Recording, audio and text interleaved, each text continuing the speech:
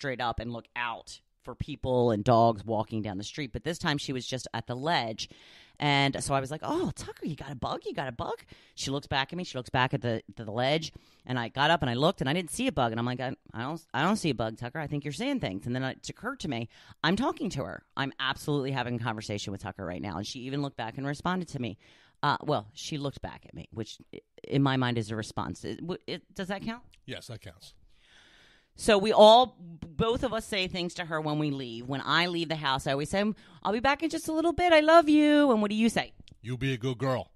So that is our tip to her that we are leaving. And she's probably looking around now, like, what, where are they going? I actually just, um, I crushed her when we were getting ready to do this. She had settled in in underneath the chair that I'm sitting in, and I didn't know she was there. And I pulled the chair back, and I kind of smushed her a little bit, and I felt terrible. And she shook it off, though, right? She shook it off. Yeah, she's a badass.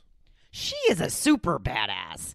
So that is our um, topic of the day, and so do talk to your pet. It's very good for you to talk to your pet. That is the good news. All right. So I believe that I have finished all the news stories and topics of the day. So, Joe, I'm going to give you a pass. You are excused. I'm going to finish up with my blog post, which I don't need you for. So get on out of here, skedaddle. Cheers. Cheers.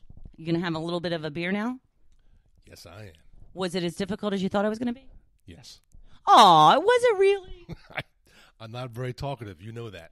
I know he's a man of, of very little words, but uh, we'll see if I can talk him into coming back um, for a couple days this week. Why don't, in fact, why don't you let me know via on the um, Hopefulist page whether you would like to hear another appearance by Joe or tell him to just stay in his chair because we can do either one. But you let us know. I would like to know what you think about that. So um, you're gonna have to keep it quiet down there, little uh, sweet cheeks, so I can. Um, little uh, okay big sweet cheats i apologize and i'm going to get my mic stand now now that i don't have to share my microphone and i am going to just go over my blog post i'm putting my mic in my mic stand so give me one second whoa okay my mic is kind of all over the place so i apologize for any problems so today i'm going to be talking about asking for the help that you need I used to feel like I could never ask for help in some weird way, I felt like that made me weak or it meant I didn't do it on my own when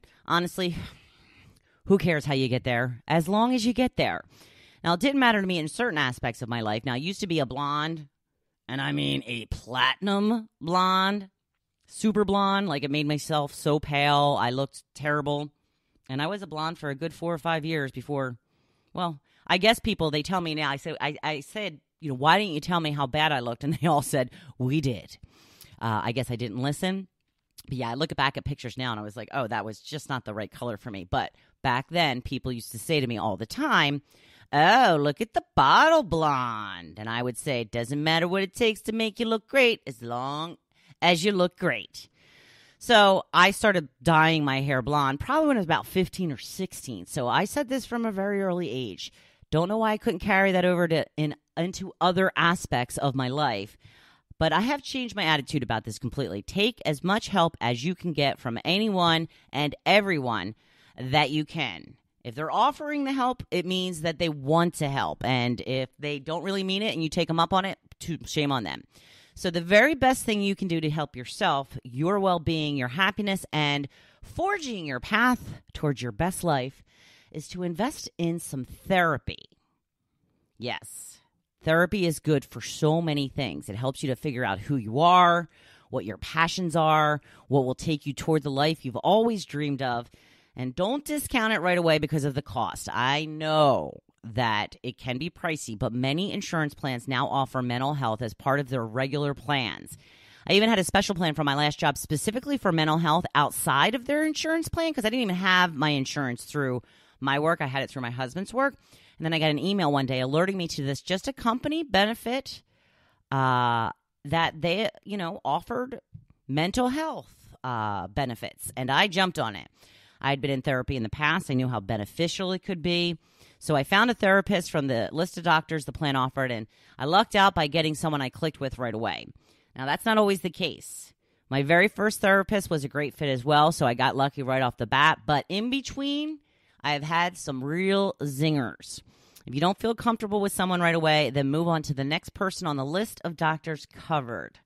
There are many out there, and unlike traditional medicine, different therapists have different theories and plans of action and what they think will help you. If you don't gel with someone, then find someone you you feel a little bit more in line with. You will know when it feels right because it's really important to have the right person guide you through your issues, help you sort through some of these long held feelings and beliefs that may not be serving you well. You have to be comfortable enough to open up. So once you find this person, you should see them as often as you can in the beginning. There is so much for the two of you to discover together, and you want to get started on self discovery in your new path as quickly as possible. So, if you have a limited number of sessions, which is typical, that are covered through your health plan, you will want to start spreading them out a little. Once you start making some breakthroughs, some you know, you'll get to a point where you feel like, you know, I can probably space my my visits out a little bit more. Now, unfortunately, what happened with me, my company benefit of therapy sessions changed services after I had already started seeing my therapist, and she didn't accept the insurance of my main health plan. So, what was I to do? I could find a new therapist, but I didn't really want to at that point because she knew so much about me. We had put so much time in, we were making progress. So, I decided I was going to continue seeing her out of my own pocket she charged me the reduced rate that she was getting from the insurance company, which is only fair. And I started spreading my visits out a little bit more. I would go every two weeks, I would go every three weeks, and then I would go, you know, once a month. And you have to realize, and the reason that I figured this was worth the money is there is no better investment than your happiness. And I get it. If it's not a necessity, and money is an issue in your life, it's hard to justify. But think of it as your ticket to a better future. Try to think of it as any other bill and plan for a way to cover the cost. So I started helping, uh, paying, and I thought it was worth it. I had, you know, I would have rather spent the money on something else. Don't get me wrong, but I felt it was worth the expense and the investment to work on me. So, one of the great things about therapy is that you think about what you want to discuss when your therapy session is coming up. So, you take some time each week to kind of evaluate, uh, evaluate that is what you feel, what you think you need to work on, and then kind of get a reassessment on a regular basis. It's a great way to kind of check in with yourself and then get feedback on how much you've grown and how the path to your new life is progressing. And I've even said that to my therapist before. I said it's funny how I think so much about you know where I am and put kind of put my thoughts together more so when I know I'm going to see a therapist because I know that there's things that uh, specifically I'm going to want to talk about where if I'm not in therapy I don't. So I don't really do that self check-in like I do when I'm in therapy. So it's it's really just beneficial in that sense where it forces you to kind of check in with yourself on a more regular basis. Now, I wish it was something that we could change about the way this is covered with healthcare. I believe that the ability to talk to somebody is so good for our mental health, it should be covered automatically. But also, I don't believe in this in network crap. You know, the rela- relationship you have with your therapist, it's very intimate. I think it's very unfortunate that you may end up in a situation like mine where your sessions just all of a sudden are no longer covered.